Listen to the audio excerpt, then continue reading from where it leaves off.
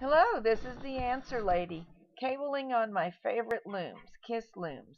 I hope you'll enjoy cabling right along with me. Welcome to Kissable Cables. Some of the movies in this series have specific reference to this bunny cable, which you can find on my website. So we will talk about knitting a bobble for a tail, making 4 by 4 crosses, which are rather challenging, making 2 by 2 crosses, and in here, where you can't see it very well, is a pair of 2 by 2 crosses done to define the top of the head. That has some special challenges, so we'll talk about that. And then these are crosses that are not crossing knit stitches with knit stitches. So they allow the ears to move on the background, and we'll talk about those. Even if you have no interest in a bunny cable, you may want to watch these because they will help you so much with the general cabling techniques that you might like to use in any project. We are ready for this row on the design. Keep in mind that every time I make this cable, I'm making it a little differently, but here's the bunny's beginning, his tail, his neck, and we're up to here. So we have to do some cable crossing to define this area. And I'm inclined this time to do a pair of two by two crosses.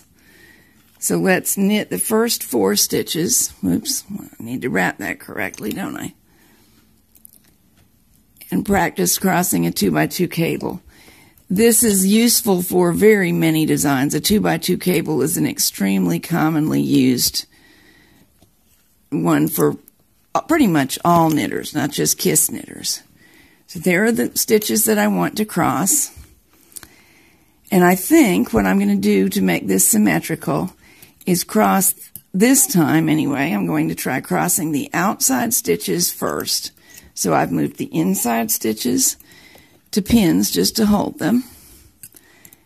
Here come the two that began life on the outside, moving them to the center, picking up the held stitches and swapping them with their original, from their original place. There we go. Now, I purposely only knitted the first four, not all eight, because doing two crosses side by side, two pairs of two by twos, does require a little extra yarn. And here is our working yarn. These stitches have been knitted and crossed. I'll bring it over here and begin knitting. And that little stretch of yarn there takes some stress off of both the pegs and the yarn without looking um, sloppy. Now, when I said the inside ones get moved out of the way, I meant the ones towards the center. That's these. I guess towards the center is probably a little clearer than inside. These are on the outer edge of the bunny's head.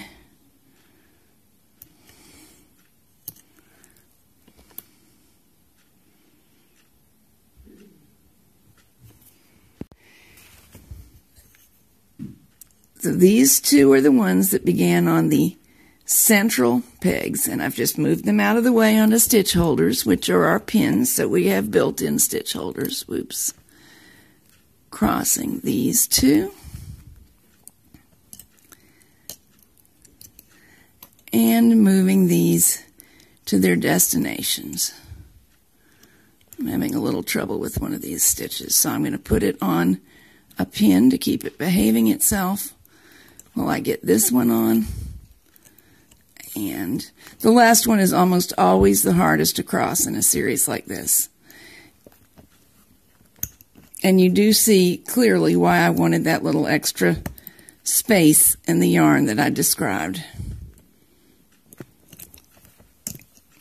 See what happened? I'll need to fix that because we must stay behind the pins. There we go a pair of two by two crosses side by side. Now, the remainder of the stitches in this row are to be purl stitches, so I'll just go ahead with them.